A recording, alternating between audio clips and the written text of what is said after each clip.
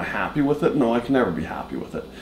Because there's always a comparison, right? There's always that who you used to be person too, right? But at the same time, do I regret it? No, I wouldn't change what happened to me.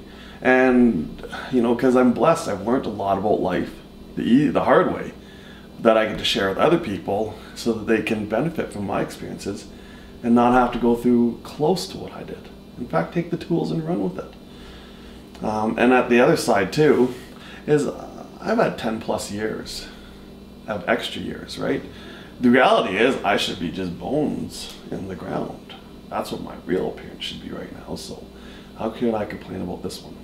So, that anger that causes why me comes from an unwanted and an unexpected event in your life. The moment you have something you didn't want to happen and you couldn't prepare for it to happen, you're going to get angry. I promise you, you will get angry. And then the why me happens because you go searching for answers. And the problem with why me is there is no answer. Um, yes, I am the exact same person as I was before, and no, I am. There's no way I'm not the guy anymore either.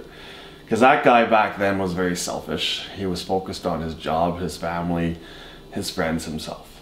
This guy, um, how do I put it? Well, right now I am dealing with a student from NAIT who wants to use me as a project for one of her final exams, and she's a photography student.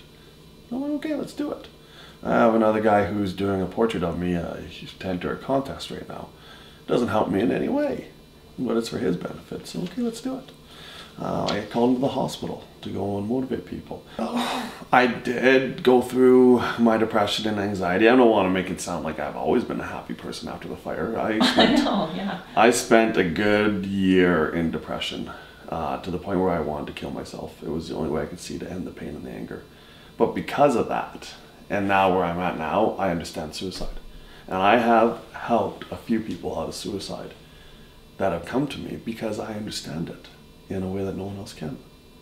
And my gift, and it's actually really my gift, is I'm able to break down what I went through and apply it into life. So I understand anger, I understand anxiety, I understand suicide, I understand pain, I understand healing, the recovery process, I understand that it went well beyond me and it affected everybody I love. And I understand their pain.